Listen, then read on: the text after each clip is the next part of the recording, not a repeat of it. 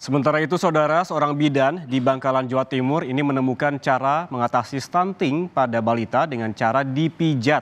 Pemijatan ini disebut pijat tuina. Teknik pijat tuina dipercaya bisa membuat nafsu makan anak meningkat sehingga bisa mengurangi angka stunting. Di tangan dulu ya. Ya, boleh. Ditekuk sedikit jarinya. Ini bukan pijat bayi pada umumnya, melainkan pijat dengan teknik khusus yang dinamakan pijat tuina. Pijat ini difokuskan pada titik-titik tertentu seperti tangan, kaki, punggung, dan perut. Yang tujuannya untuk meningkatkan nafsu makan pada anak. Pijat tuina merupakan hasil penelitian Irawati Ningsih.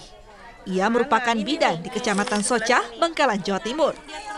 Saat kuliah dulu, Irawati sempat melakukan penelitian mengenai pijat tuina ini. Kemudian ia implementasikan selama menjadi bidan karena masih menemukan ada balita kurang gizi di wilayahnya. Irawati kerap melakukan pijat pada sejumlah balita saat pemeriksaan rutin. Dan dari awal dipijat hingga beberapa bulan, hasilnya balita yang masuk kategori kurang gizi kini mengalami penambahan berat badan yang cukup signifikan.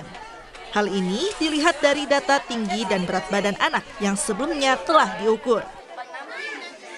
Pijat ini pun tidak hanya dilakukan oleh Irawati, karena ia pun memberikan sedikit pelatihan kepada para orang tua agar bisa melakukannya sendiri di rumah. Apalagi pijat tuina disarankan rutin dilakukan setiap hari selama dua minggu pada anak yang mengalami masalah gizi. Ya, saya kuliahnya di UNUSA dan kebetulan uh, penelitian saya itu tentang pijat tuina efektivitas pijatuina terhadap perubahan status gizi pada balita.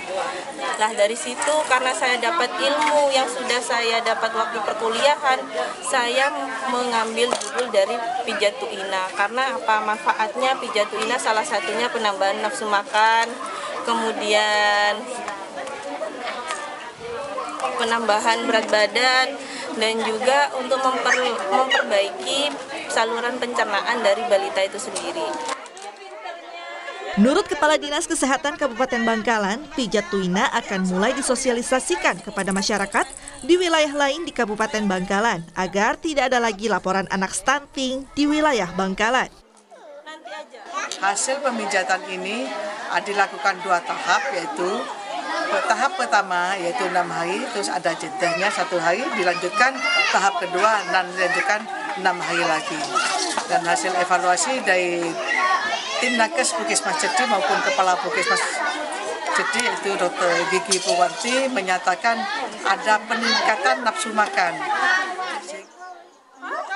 dari data Dinas Kesehatan Kabupaten Bangkalan, di awal tahun 2022 di Kecamatan Socah, terdapat angka 3,9 persen balita yang masuk kategori gizi buruk.